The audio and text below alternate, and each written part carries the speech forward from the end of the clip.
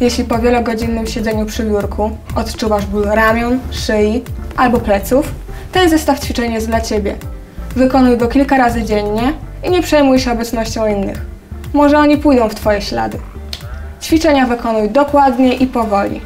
Każde ćwiczenie wykonuj 8 razy. Każdą pozycję przytrzymaj od 3 do 5 sekund. Staraj się powtarzać ćwiczenia 2-3 razy dziennie. Trakcie ćwiczeń oddychaj. Wdech nosem, wydech ustami. Pozwól sobie na zdjęcie szpilek i rozluźnienie krawata. Usiądź prosto na krześle, zachowując naturalne krzywizny kręgosłupa. Spleć dłonie na potylicy. Zrób wdech nosem. Przy wydechu wciśnij głowę w parujące dłonie. Wydech wykonaj ustami.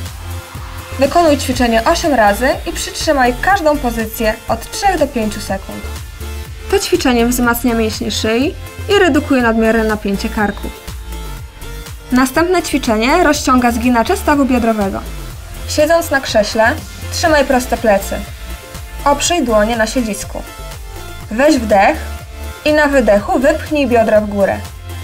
Przytrzymaj pozycję od 3 do 5 sekund i wróć do siadu. Powtórz ćwiczenie 8 razy.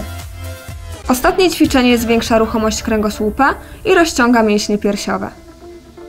W pozycji siedzącej połóż ręce na klatce piersiowej. Nabierz powietrza i na wydechu wykonaj skręt tułowia z wyprostem ręki w tył.